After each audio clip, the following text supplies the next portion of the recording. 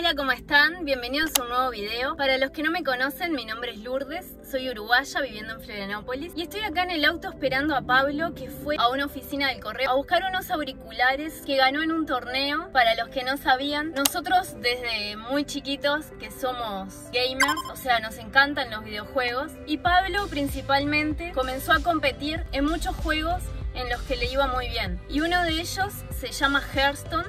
No sé si conocen, es un juego de cartas online en donde hay eSport y la gente compite y gana premios. Él se anota casi siempre en pila de torneos, a veces gana plata en efectivo y a veces gana premios relacionados con el gaming. Y esta vez ganó unos auriculares que están buenísimos y los fue a buscar. Por lo general el correo va hasta tu casa acá, pero hay ciertos problemas y más que nada después de la pandemia se complicó muchísimo más el tema de las entregas con el correo y todo. Y ahora lo están pensando privatizar. Hay algunas empresas que ya están encargándose de algunos envíos y algunas cosas y va a ir de a poco, pero parece que van a privatizar el correo porque siempre que te tiene que llegar algo o nosotros pedimos algo, primero que nada demora muchísimo si es por el correo público de acá, demora muchísimo en llegar. Y otras veces, si vivís en un condominio, como es nuestro caso, el personal que trabaja en el correo no entra al condominio, o sea, no va hasta la puerta a enviártelo, ni golpea, ni nada.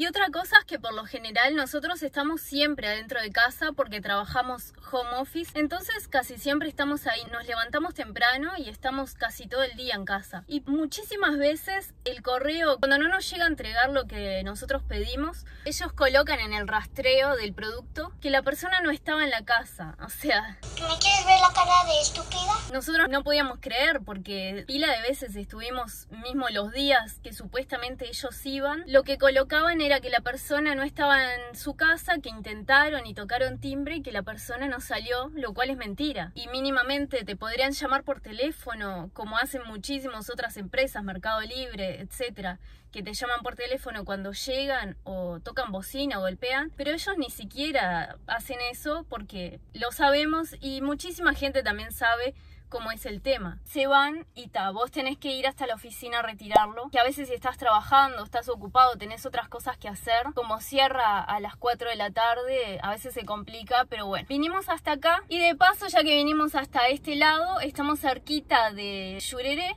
y les vamos a mostrar Yurera Internacional para mostrarles un poquito cómo es, para contarles un poco sobre la historia de uno de los lugares más lindos de acá de la isla y de paso paseamos un poquito también nosotros, que hace bastante que no vamos para ese lado. Bueno, ahí está llegando Pablo, ahí viene con su premio, vamos a ver qué fue lo que recibió. Demoró bastante, más de media hora. Hello. Chan, chan, chan, vamos a ver A ver qué tal. qué es lo que recibió. Vamos a dejar la puerta abierta igual. Para hacer auriculares es media chica la caja, ¿no? Sí, yo tengo miedo que le hayan errado y hayan enviado algo que no es.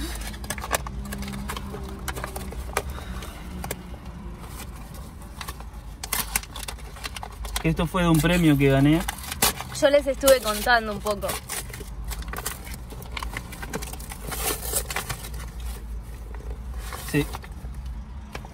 Se equivocaron. Voy a tener que reclamar. Vamos a tener que reclamar porque entre que esperamos muchísimo el premio, demoró y encima se equivocaron, ahora tenemos que enviarlo otra vez y nos tienen que enviar el premio correcto. Pero bueno.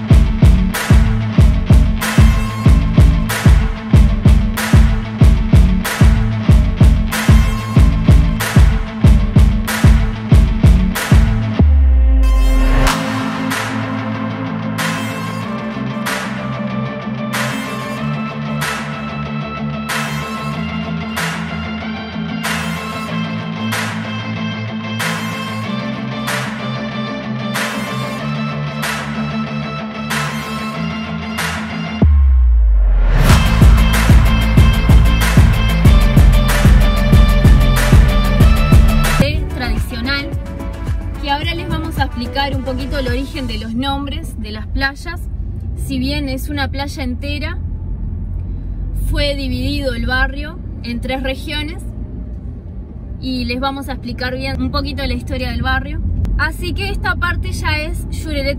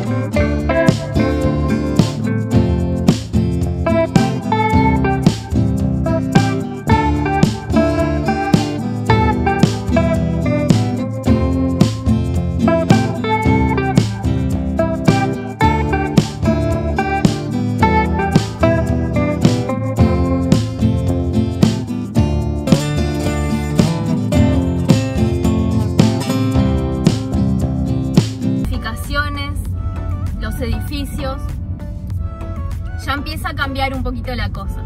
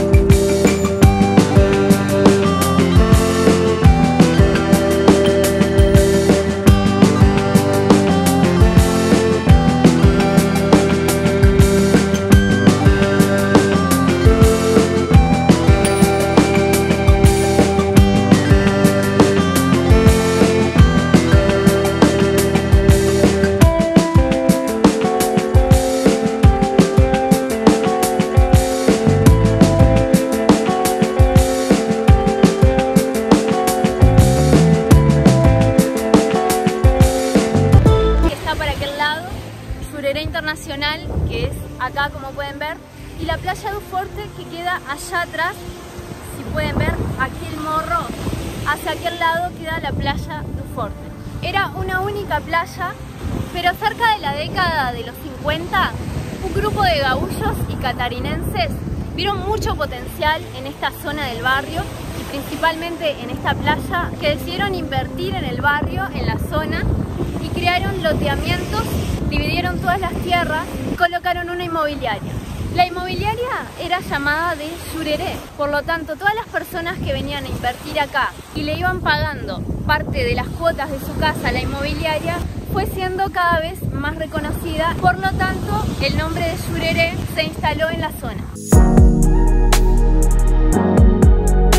El barrio fue proyectado arquitectónicamente por el mismo arquitecto que proyectó la capital del país, o sea, Brasilia. Es un arquitecto muy conocido mundialmente que se llama Oscar Niemeyer, que así como pueden ver en imágenes, la verdad que el barrio quedó excelente.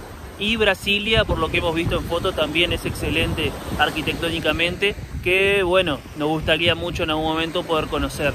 Bueno, y acá vamos recorriendo un poquito el barrio de Llorena Internacional. Como se dice acá, las casas son de alto padrón. Es un barrio muy residencial. Estamos hablando casi bajito porque hay muchísimo silencio. Es una calle muy tranquila, se escucha el sonido de los pájaros. Y esta es la avenida principal. Claro, esta sería la avenida principal donde pueden ir viendo también las enormes casas, casi mansiones hermosas.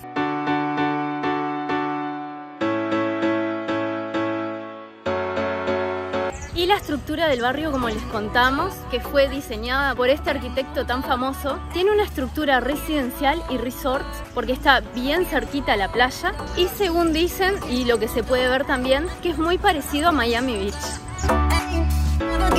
Bueno, acá tenemos un terreno en venta, así que si están interesados en comprar y hacerse sus propias mansiones en internacional, acá les queda el dato. ¿Cuánto dicen ustedes que puede valer una mansión acá en Ciudad Internacional? Déjenos en los comentarios. Campanario,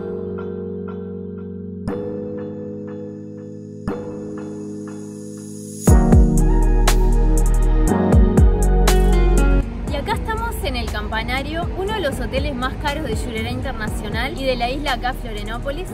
Si quieren que vengamos a visitarlo, compartan el video, dejen un like, suscríbanse, porque para venir a visitar este hotel vamos a tener que llegar a un millón de suscriptores más o menos.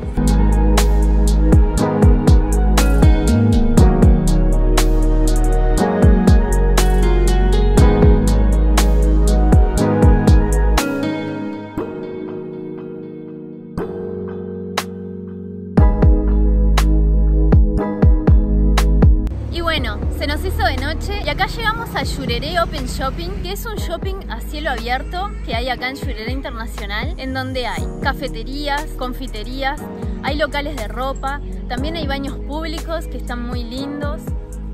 Hay toda una estructura diseñada para niños para que puedan jugar. También hay tiendas de ropa, cervecerías, restaurantes, hay hasta bancos.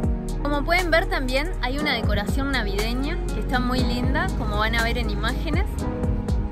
Está bien iluminada, hay mucha seguridad también, se ven muchas cámaras de seguridad en varios ángulos. Es una zona muy segura para venir a pasear, muy linda. Sí, acá además de haber muchas cámaras en sí, hay también unos tótem que vamos a ponerles ahora en pantalla que tienen lector facial, entonces ahí ya reconocen si hay alguien que es buscado por la justicia y ya alertan enseguida a la policía, que está muy interesante y que además hay un proyecto para poner lectura facial en el puente de entrada a Florianópolis para así tratar de evitar la criminalidad al máximo en la isla.